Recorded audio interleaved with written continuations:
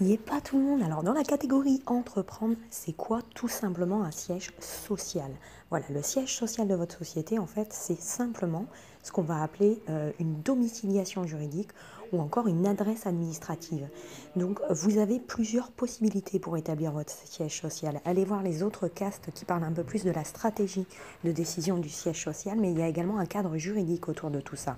Donc par exemple, ce siège social, bah, vous pourrez l'établir à votre domicile, voilà, le domicile euh, du dirigeant ou euh, etc. Vous pouvez peut-être potentiellement aussi utiliser un local commercial. Vous pouvez euh, utiliser en fait des, des centres ou des, des, locaux mis à disposition dans des hubs ou des, euh, des, incubateurs, ou alors des sociétés spécialisées dans la mise à disposition de boîtes postales qui, pour répondre à un besoin réglementaire, vous mettent à disposition également des locaux ou alors voilà vous vous communiquent vos courriers, etc., etc. Donc voilà pour ce qu'on appelle à mon sens en fait la définition euh, du euh, siège social, tout simplement. Voilà, je vous dis à bientôt, yé pas